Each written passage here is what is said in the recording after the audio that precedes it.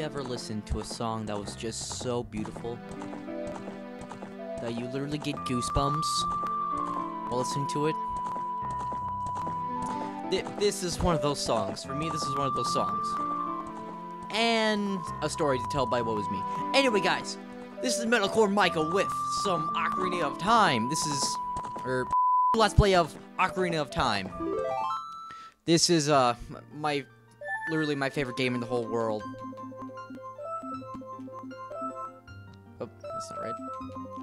So, yeah, I'm gonna be doing a let's play of this game. I'm gonna be uh uploading ev- at least uh, every Saturday, and record at least um every other day of the week. So now let's get started. In the vast, deep forest of Hyrule. Long as I served as the guardian spirit, I am known as the Deku Tree. The children of the forest, the Kokiri, live here with me. Each Kokiri has his or her own guardian fairy.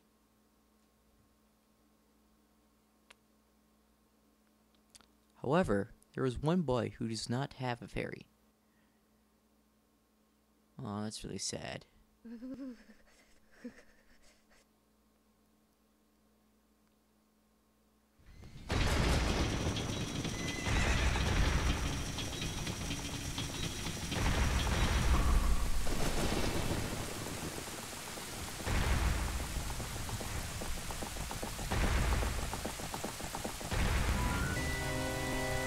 Oh dear.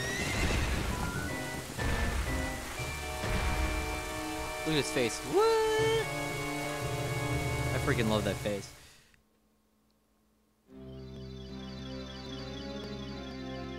Navi. Where art thou, Navi? Come hither.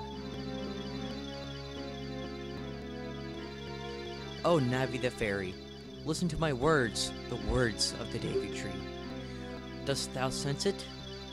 Climate of evil is descending upon this realm. Malevolent forces, even now, are mustering to attack our, our land of Hyrule. For so long, the Kokiri Forest, the source of life, has stood as a barrier, deterring outsiders and maintaining order of the world. But before this tremendous evil power, even my power is as nothing! It seems the time has come for the boy without a fairy to begin his journey. His youth's destiny is to lead Hyrule to the path of justice and truth. Navi, go now. Find our young friend and guide him to me. I do not have much time left. Fly, Navi, fly! The fate of the forest, nay, the world, depends on thee. We'll do just that. This is one of my favorite moments. It's just, it's just so cute and adorable. Ron brings it on, is able to get right in. Oh,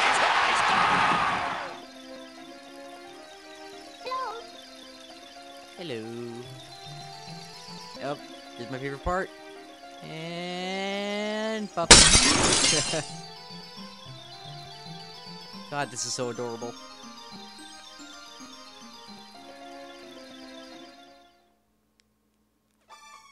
And here we have our hero being your average teenager. Hello, Link. Wake up. The Great Deku Tree wants to talk to you. Link, get up. No. Hey, come on! Can Io's destiny really depend on such a lazy boy?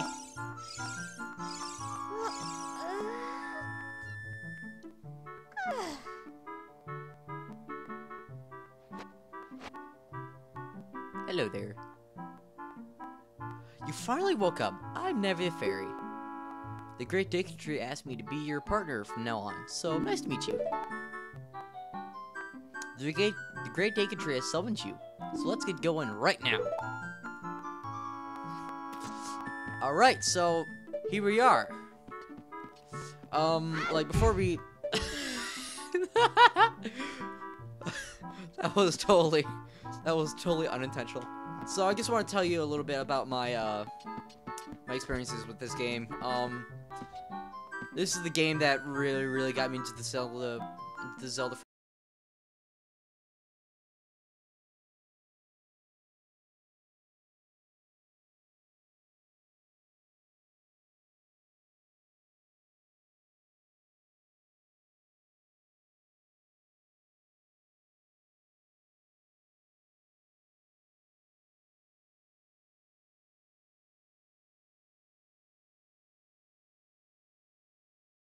through my through my playthrough, I just absolutely fell in love with this game. This game is a masterpiece. It was actually pronounced uh, one of the best games in the world, for for good reason too. So we are Kokiri Forest.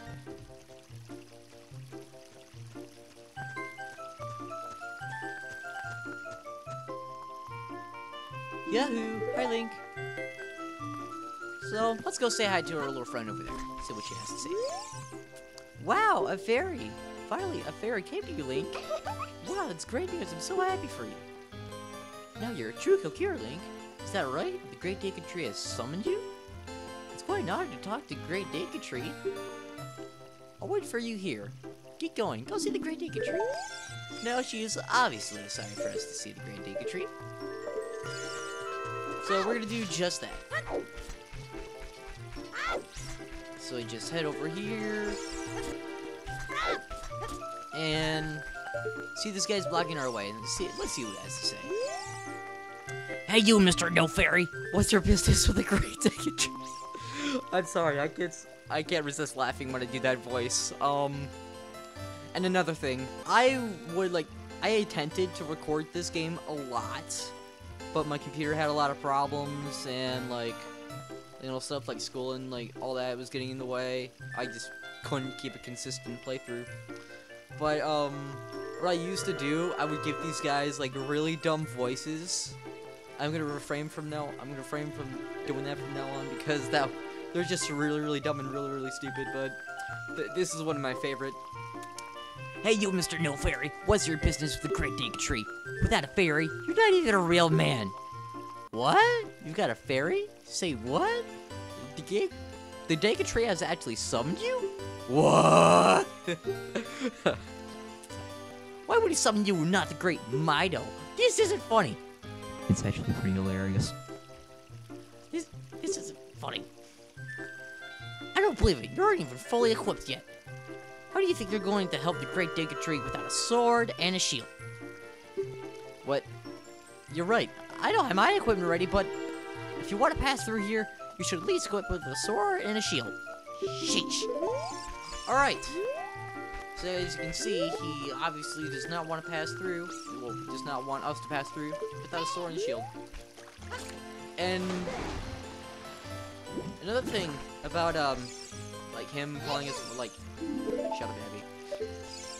Another thing I, I just want to add, like he's dissing us because he thinks he's like you know he's all cool, he's all tough and strong, but just look at his arms compared to Link's. As you see, he's got a little bit more uh he's got a little, little bit more beef. So I just want to see like or if there's like maybe like a like a fan animation like around like Mido always picking on Link and Link just like linking him square up. that would be the funniest thing in the world. I would I would actually pay to see that.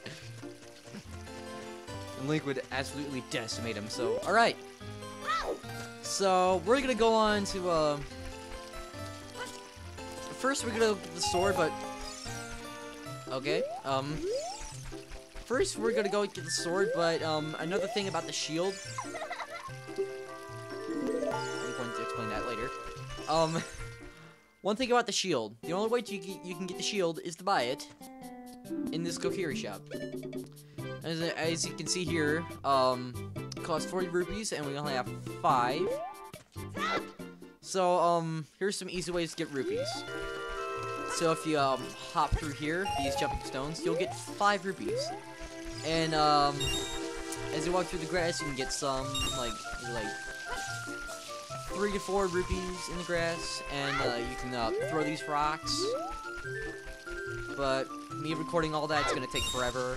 It's already uh, at least 10 minutes in. Going over here, walking on this little walkway. I would actually have a lot of trouble doing this because like when I would use like the actual joystick instead of the circle pad, I would always like fall off. But here we are. I can do it. uh, I can just do it like a breeze. And I'm pretty sure that's it. Yeah. Oh, I forgot. I totally forgot. Totally forgot. here we are. This is actually um Mayo's house, by the way. This is like you know the guy that was uh that's the guy that was talking to us. He was talking smack. So here we are. We're in his house, and here's something that I think is really funny. Um, I was watching a video about like um Ocarina of Time, and this guy was like um, alright, he opens this chest, and as you can see, um, or like as you, if you talk to everybody else in the forest, you can see it'll tell you that like he's he's really mean to everybody. He's kind of a he's kind of a jerk, and um, he's like uh, the guy that I saw. It was like, oh, so this is where he keeps his heart. I just thought that was the funniest thing in the world. And open the rest of these. Got a blue rupee. We just steal his money. He he deserves it anyway. All right, that's it. But just who who keeps 11 rupees in like three different chests? That's so that's so weird. But it's a video game and you can't argue with video game logic. So, get a little extra.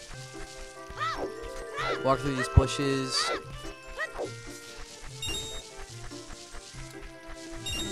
And, alright. Have just about enough, but we're not gonna go buy it yet. Now we're gonna go and fetch the sword.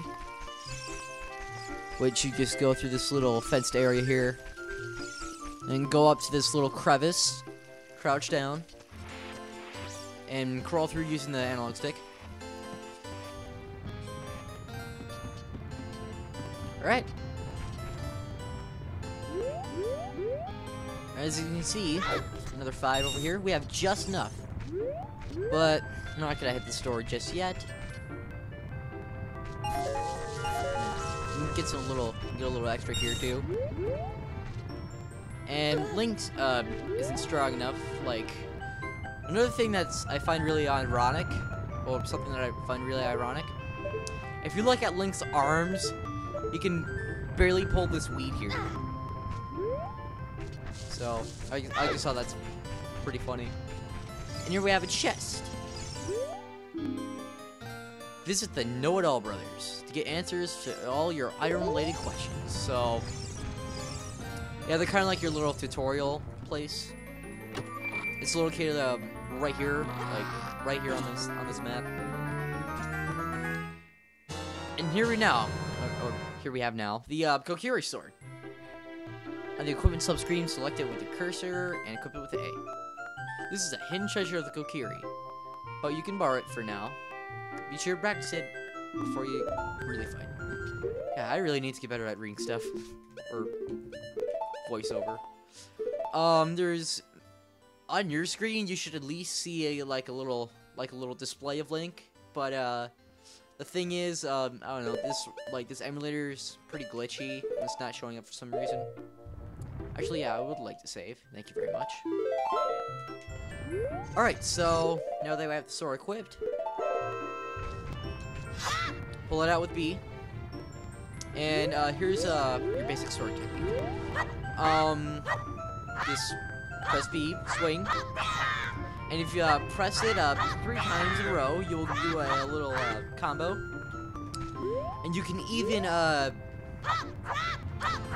now you can even do a, uh, you can even swing it in the direction you're uh, pointing with the uh, analog stick. So if you're, uh, thinking all going up on the analog stick, you'll, um, Link will swing down. And if you do it from, like, the side, it's a lot easier. If you want to do your, uh, like the swinging from, like, the sides, yeah, it's uh, a lot better to do it while uh, targeting down. So, um, yeah.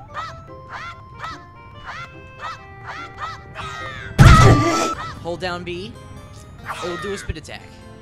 And then, um, if you, uh, spin the, uh, analog stick in a circle and press B, you'll do a spin attack like that as well.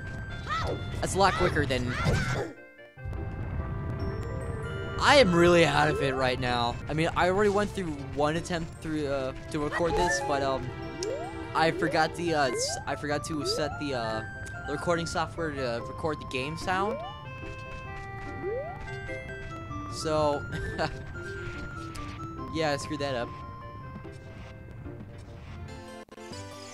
Uh, yeah, just come out there, and we have a sword. Now we're gonna go head to the shield, or head to the shop and get our shield. See you guys there. Alright, we are back in the shop, and now here we are, buying our shield. Da da da. That was terrible, I'm sorry. Press R to crouch and defend, and if you press R while Z targeting, you can move while defending. Alright.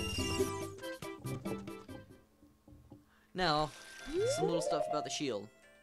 Um, let's see, go, over, go over here to equip it, equip that. There we go. Alright, so press R to like well crouch and use your shield. You can move the analog stick and uh, it's like you know sort of a point like to sort of direct the shield. So um, you can do stuff like block bullets or like defend against enemies. So yeah, gonna cut a little grass. Let's help this guy. That meaning Mido maybe cut the grass at Saria's house. Mido told me he would do it. Maya told me.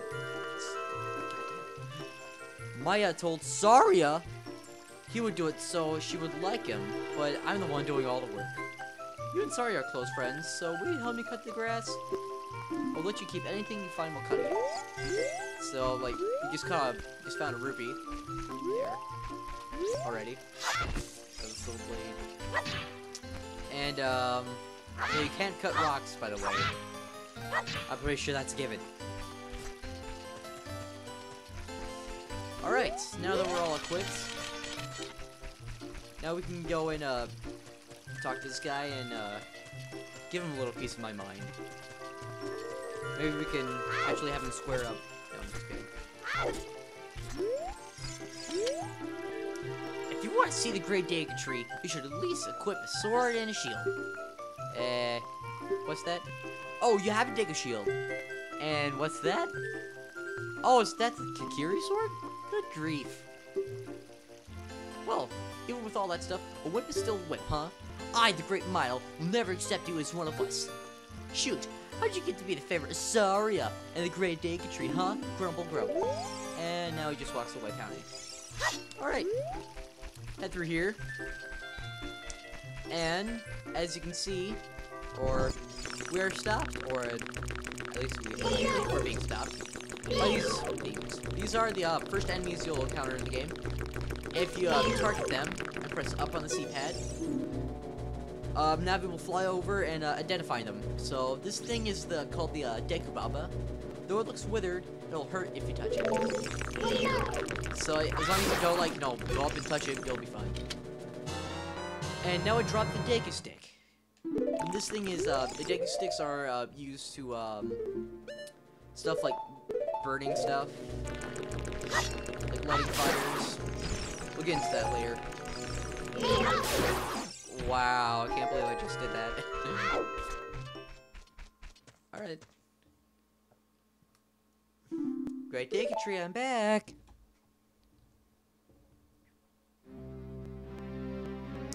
Oh, Navi, thou hast returned. Link, welcome. Listen carefully to what I, the Great Deku Tree, am about to tell thee. Thy slumber these past moves have been restless and full of nightmares. As the servants of evil gain strength, a vile climate pervades the land and causes nightmares to those sensitive to it. And verily, thou hast felt it. Link, time has come to test thy courage. I have been cursed. I need you to break the curse with your wisdom and courage. And, yep, we're gonna do just that. But enter brave Link, and thou too, brave Navi. Or just Navi. Navi the Fairy, thou must aid Link. And Link, whenever he speaks, press up on the C-pad to listen to her words of wisdom. Alright, and that is going to wrap it up for today's episode. I hope you guys enjoyed. Make sure to leave a like and subscribe for some more Ocarina of Time. This is Metalcore Michael.